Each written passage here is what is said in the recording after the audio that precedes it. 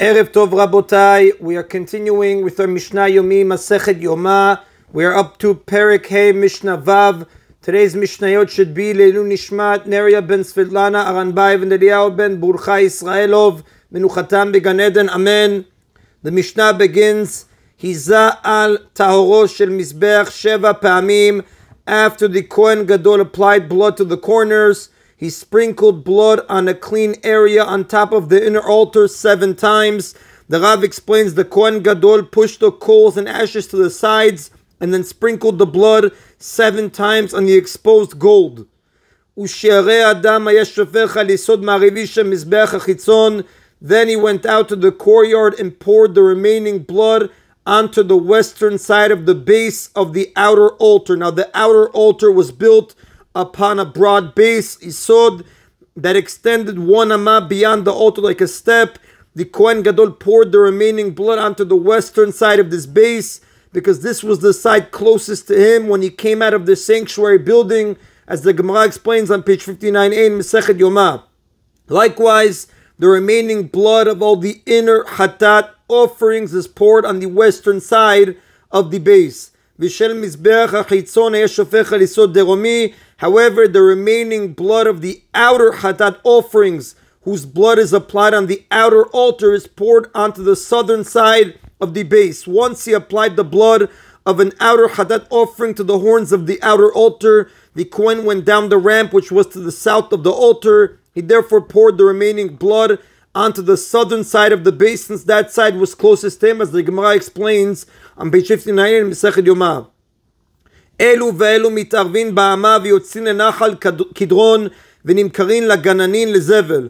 After they were poured onto the base, the blood of these and those, the inner chatat offerings and the outer chatat offerings, joined in the canal that ran through the courtyard and flowed out to the Kidron Valley, where they were sold by the temple treasurers to gardeners for use as fertilizer in their gardens. Umu'alin bahen, one who uses them without paying for them benefits from sacred property, which is forbidden. Now, the Torah forbids having benefit from sacred items, what we call mi'ilah. However, the biblical prohibition does not apply to the blood discussed here, since its service has been completed. It is forbidden only according to rabbinic law. When an item owned by the temple is sold, its sanctity is transferred to the money, and the item itself is no longer subject to the prohibition of mi'ilah. In our Mishnah's case, therefore, once the gardeners paid for the blood, they were allowed to use it as fertilizer.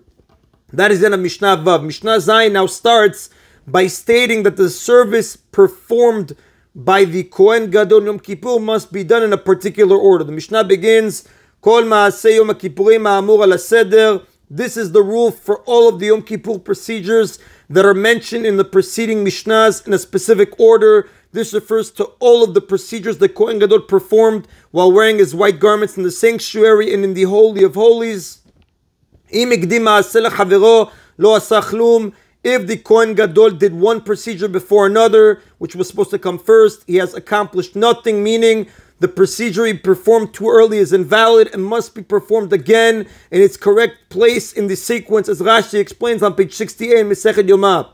הקדים דם אסיר לדם הפר, יחזור ויזה מדם אסיר For example, if he sprinkled the blood of the he goat toward the curtain in the sanctuary, before he sprinkled the blood of the bull there, he must sprinkle the blood of the he goat again after he has sprinkled the blood of the bull. The Mishnah now discusses what the Kohen Gadol must do if the blood spilled.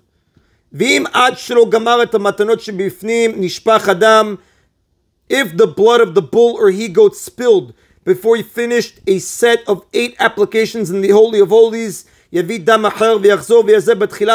must bring other blood, meaning he must go out to the courtyard and slaughter another bull or he goat and repeat the sprinklings in the Holy of Holies from the beginning of the unfinished set. Now, the blood of the bull was sprinkled eight times in the Holy of Holies, once upward and seven times downward, and so was the blood of the he goat. Each group of eight sprinklings is a set. Therefore, for example, if the blood of the he goat spills after three of the eight sprinklings, the Kohen Gadol must slaughter a new he goat and perform those three sprinklings again, plus the remaining five.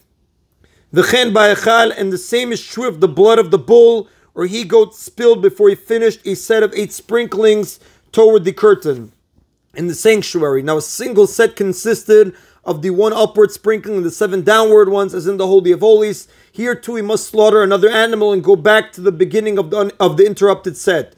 V'chen b'mizbach hazav, and the same is true of the blood, the mixed blood of both the bull and the he goat spilled before he finished the set of 11 applications on the golden altar. In this case, he, he slaughters both a bull and a he goat, mixes their blood, and uses the mixture to repeat the interrupted set. Now, there was only. There was only one set on the golden altar, which consisted of the four applications to the corners and the seven sprinklings on the top. Shekulan kapara bifnei atzman. However, it is not necessary to repeat any previous set that was already completed because each set is in its own unit of atonement. Once a set has been finished, its purpose has been achieved. Therefore, even if the blood of a new animal is used for the next set, the first set is now repeated. Now, the next two Tanaim hold that he does not go back to the beginning of the interrupted set. רבי אליעזר ורבי שמעון אומרים, רבי אליעזר and רבי שמעון say, ממקום שפסק משם הוא מתחיל. From the place in the set where he stopped, that is where he starts again, meaning if he started a set and the blood spilled before he finished it, he continues from where he stopped. For example, if the blood of the he goat spilled after three of the eight applications inside the Holy of Holies, he slaughters another he goat and begins with the fourth sprinkling. He does not go back to the beginning of the set and perform the first three sprinklings again. According to these Tanaim, each sprinkling is a mitzvah in its own right, which having been done once, does not need to be repeated. The Rav does tell us, Ven Rabbi Shimon, the Halakha does not follow the opinion of Rabbi Elazar and Rabbi Shimon. That is in Rabbi today's Mishnah Yomi. ברוך אדוני לעולם, אמן ואמן.